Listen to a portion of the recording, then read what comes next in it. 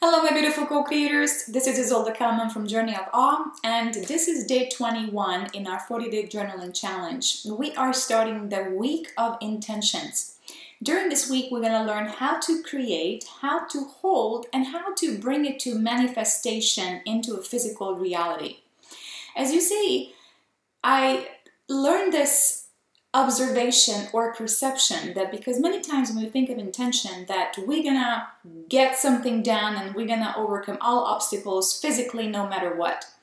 But there's an easier way to bring intention to manifestation and that is we look at it as not something we do necessarily but what we are connecting to. And our connection to the field of all intent.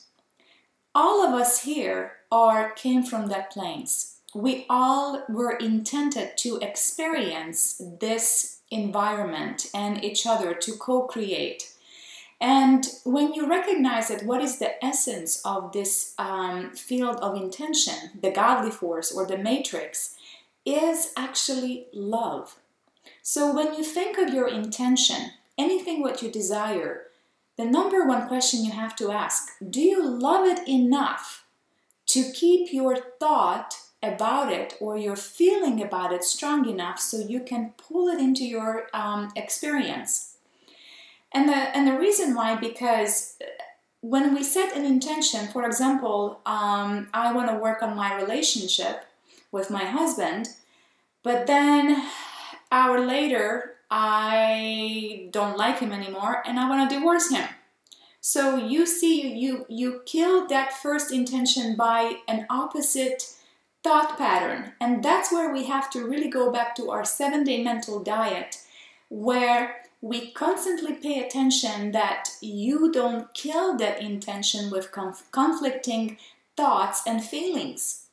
So, number one, remember love that what you desire to bring into manifestation. That is your power to bring it into the physical reality.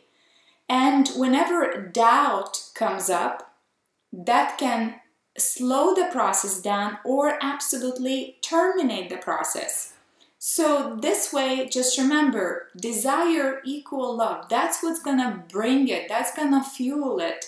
And that's what's gonna keep it alive. So when you trying to bring in something to manifestation, love what you desire and that's how you keep it alive. And whenever doubt comes up, just say I can and I love it and I'm able to bring it in.